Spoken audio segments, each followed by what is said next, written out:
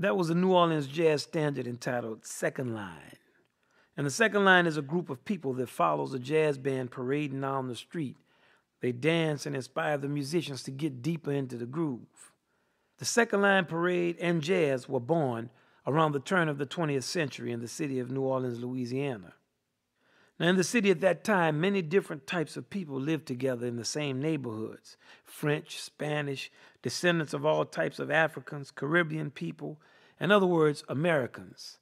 But the thing is, even though these people were living close to one another, they really didn't like each other. The music gave them an opportunity to creep closer to each other and get to know each other on more familiar terms. The first band to play New Orleans jazz was led by a cornetist named Buddy Bolden. The thing that made him special was that he knew what all these people had in common. He was like a translator, except instead of translating languages, he translated human feeling and emotion into the language of music. He realized that all of these people got jealous, happy, tired, hungry, had relatives they didn't get along with, and they got sick, amongst many other things. Buddy Bolden knew how to put this knowledge of what everyone had in common into music with his band. They showed everyone that New Orleans jazz was about working together with feeling and style. This working together is called collective improvisation.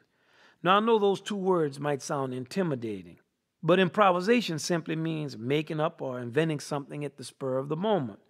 Something that we do every day, like what type of clothes we put on or what we say when we go to speak. Collective just means together with another person or group of people.